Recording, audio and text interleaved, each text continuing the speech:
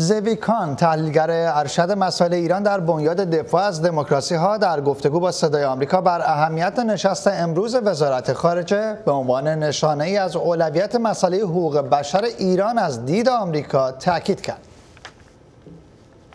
Um, آنچه در سخنرانی وزیر خارجه پومپئو مهم است این است که وقتی او سال گذشته برای اولین بار استراتژی دولت آمریکا در قبال ایران را اعلام کرد. دوازده شرط را تعیین کرد.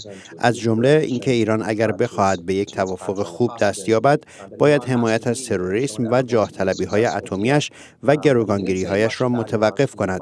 اما این استراتژی آنطور بر نقض حقوق بشر از سوی رژیم ایران تاکید نگذاشته است آنچه درباره سخنرانی وزیر خارجه پومپو مهم است این است که به نوعی بیانگر تصحیح برخورد با ایران است که احتمالا مشخصترین و فراگیرترین اعلامیه دولت آمریکا در حمایت از حقوق بشر در ایران است که از زمان اعلام استراتژی آمریکا مشاهده کردیم.